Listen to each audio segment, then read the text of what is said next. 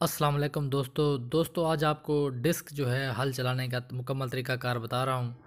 आमतौर पर सब दोस्तों को, जो किसान दोस्त हैं, उनको पता होता है कि जो डिस्क है, वो कैसे इस्तेमाल की जाती है। लेकिन कुछ मुझ जैसे दोस्त होते हैं, उनको पता नहीं होता और वो जो डिस्क है, उसको हल की तरह जो है इस्तेमाल करते हैं।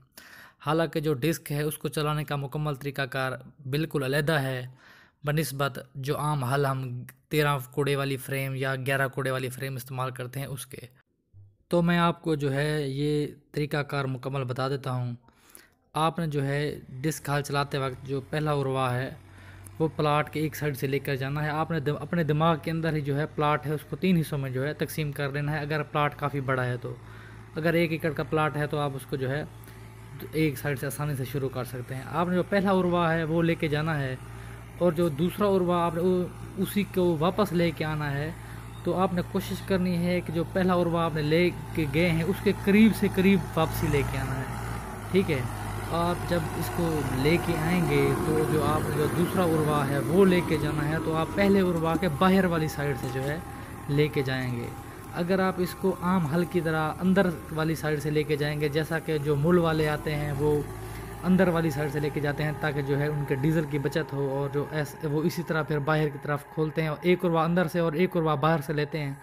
तो जो ज़मीन का जो लेवल है वो सारा ख़राब हो जाता है और उनके जो डीज़ल है उसकी बचत होती है। इस तरह से जब हम सारे के सारे उर्वा बाहर से लेते हैं तो जो डीज़ल है उसकी तो काफ़ी जो है आपको उसका ज़्यादा इस्तेमाल होता है, लेकिन जो आपकी ज़मीन है उसका लेवल जो है वो बिल्कुल ठीक होता है। अब ये देखें कि इसमें कोई भी ओढ़ें और कोई भी जो जो है झरियाँ वो नहीं बन रही हैं। ये बस तरीकाकार यही है कि आपने जो है, हर उर्वा जो है, वो बाहर की तरफ़ से है, खोलते जाना है, बाहर की तरफ़ से खोलते जाना है। अगर आप एक उर्वा अंदर से ले लेंगे तो जो ये जो झरी है, ये सारी की सारी जो है, ज़मीन में झरियाँ बनती जाएँगी। आपने अक्सर देखा होगा कि जो जो डिस्क डिस्क हल अक्सर चलाया गया होता है, वो गलत तरीके से होता है, और उसमें जो है, वो झरियाँ बनी पड़ी होती हैं। उससे जो है, एक तो जो ज़मीन का लेवल है, वो ख़राब हो जाता है, और हमें जो है, एक हर फ़सल के बाद जो है, ज़मीन को लेज़र करवाना पड़ता है।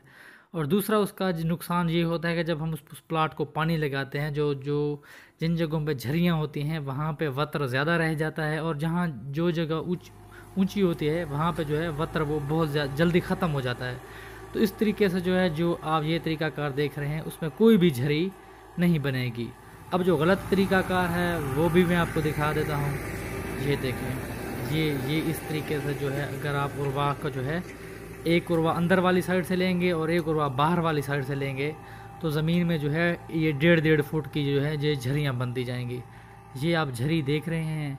ये आपको दिखाने के लिए और समझाने के लिए जो है, ये दिखाई गई है। ये देखें, ये इस उर्वा की झरी बनी पड़ी है।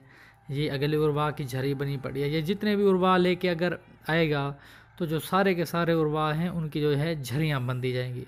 तो आपने कोशिश करनी है कि जो मैंने आपको तरीका बताया है, अगर आप उस तरीके पर अमल करेंगे तो आपकी ज़मीन का एक इंच जो है वो भी ऊपर नीचे नहीं होगा। और जो है ये ज़मीन बिल्कुल खूबसूरत लगेगी और इसमें कोई किसी किस्म की जो है वो झरियाँ और ओढ़ें जो हैं वो नहीं बनेगी और ना ही टेढ़ी मेढ़ी ज़मीन होगी। क्योंकि अगर ये अगर झरियाँ बनेंगी तो एक साइड की जो मट्टी है वो हाल जो है डिस्क उठाकर दूसरी जगह पे फेंक देती है, जिससे जो है सारा लेवल ख़राब हो जाता है। और जो है पानी जो है, वो फिर सही जगह पे नहीं जाता है। आप ये देख रहे हैं कि ये सारी की सारी ये झरियाँ आप देख रहे हैं, ये देखें, कितनी बुरी लग रही हैं। और ये जो है, ये गलत हल चलाने की वजह से जो है, वो बन गई हैं। तो ठीक है जी, अगर आपको कोई मसला हो, या अगर आपके पास कोई बेहतर तरकीब, इससे भी बेहतर तरकीब हो तो मुझे कमेंट में ज़रूर बताइएगा। और जो है, कोई मसला हो तो वो भी बताइएगा। और जो है मुझे दुआओं में याद रखिएगा। शुक्रिया जी अल्लाह हाफिज़।